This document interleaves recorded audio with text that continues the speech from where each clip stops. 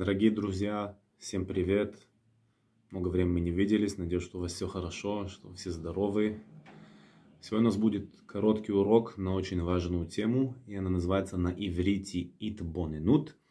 «Итбоненут» это имеет в виду обратить внимание, это смотреть внутрь, это не просто только видеть, а это остановиться и смотреть внутри, что мы делаем – или чё, зачем этот мир работает, как он работает. И вообще каждая э, тема в жизни наша мы должны не только делать ее, а думать, почему мы это делаем, и смотреть внутрь каждый наш акт в этом мире. И начнем с короткой истории. Когда-то приходит один хасид и рассказывает какую-то историю по поводу одного человека – он говорит его друзей. Был один раз какой-то человек, он был, скажем, как сказать, чуть-чуть тупой. Он всегда все забывал. И он сказал себе, давай каждый день сейчас я буду писать, где моя шапка, где моя кипа, где моя футболка, где мои туфли. И вот так он просыпается каждый день и смотрит в листики, говорит, спрашивает, где моя шапка, находится там где мои туфли находятся там. И так все дали, пока он нашел все, что ему надо. А потом он остановился секунду и спрашивает себя, а где я нахожусь? И потом вот этот хасид говорит, ребята, вот этот человек, что я про него говорю, это мы. Имеет значение, что у нас в жизни мы делаем очень много вещей в жизни. Это может быть духовно, это может быть материальным, но мы делаем это так, как робот – Скажем, человек идет молиться. Встал утром, пошел, помолился. Он идет молиться, потому что ему надо молиться. Он делает э, мицвод, заповеди, потому что ему надо. Или потому что он привык. Может, он так, э, когда он чуву сделал, так он э, просто уже так делает это 10 лет. Или он так вообще родился в религиозной семье. Или человек, когда он приходит с женой, он общается, он говорит, да, надо общаться с женой, надо общаться с детьми. И так далее. Типа это какая-то автоматизация такая в жизни. И, никак, и мы много раз не смотрим вообще, что мы делаем и почему мы это делаем. И кроме этого мы не получаем вдохновения, потому что мы в этой автоматизации. То это может быть тоже в материальном мире. Человек работает, у него есть что-то успешное, он так, а, да, прикольно, все хорошо, я рад, и забыл про это.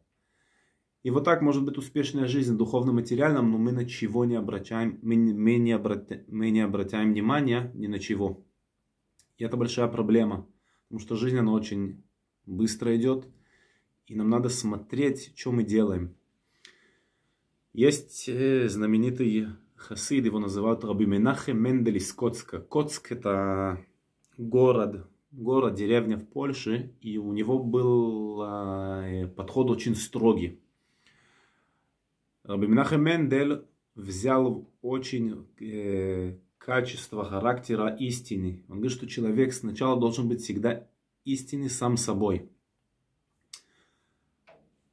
Что, что он говорил его хасидам всегда, есть на иврите говорят «Ло елеха элезара» «Не будет тебе Бог незнаменитый».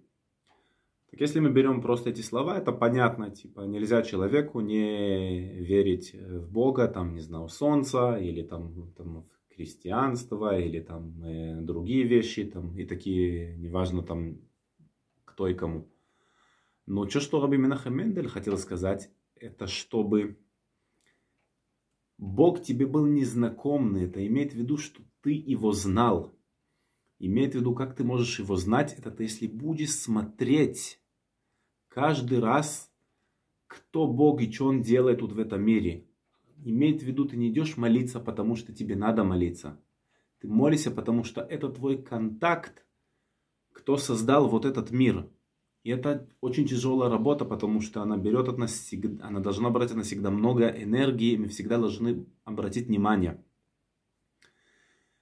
Есть еще, Раби Минахе Мендель говорил когда-то его ученику, что когда какие-то хасиды хотят, чтобы у них был э, учитель какой-то, и они хотят, типа, открыть их бет-мидраж, бет-мидраж это где учатся, Ецерара, плохая сила, вот это, что мешает делать хорошие вещи, заповеди и, и так далее, ему не будет мешать найти место, где учиться там Тору, где делать, где помогать людей, где молиться, чтобы все были хорошо одеты, чтобы все делали хорошие ужины, там завтраки, там кто хочет после молитвы, такие вещи. Но он одну вещь не даст. Он не даст обратить внимание, о чем мы делаем и почему мы это делаем. Мы должны, ребята, очень понять и работать на это, потому что это очень тяжело. Смотреть каждый день, когда мы стоим, стали утром, мы делаем какую-то заповедь, мы идем говорить с женой, с детьми нашими, мы идем на работу – смотреть чуть-чуть, что мы тут делаем, с кем мы общаемся, а не просто общаться как роботы, не просто идти с ребенком и играть с ним и не быть, как сказать, мы, находится, мы, мы, мы находимся с ним, но мы не находимся там. Есть система, кстати, что она, э, это типа как в психологии называется mindfulness по-английски. Это имеет в виду, это там, это как вид медитации, но это больше типа быть там, сейчас и там. Что она, правда, вот это работает на вот эту ситуацию, что человек должен понять, что он делает, и всегда быть, находиться в какой-то ситуации, а не, а не сейчас не быть в каком-то ситуации, думать, что будет завтра, или думать, он с, общается с женой сейчас после работы, он вообще его голова в работе, или он сейчас молится, и пока он молится, он считает, э, не знаю, сколько денег у него в банке и так далее.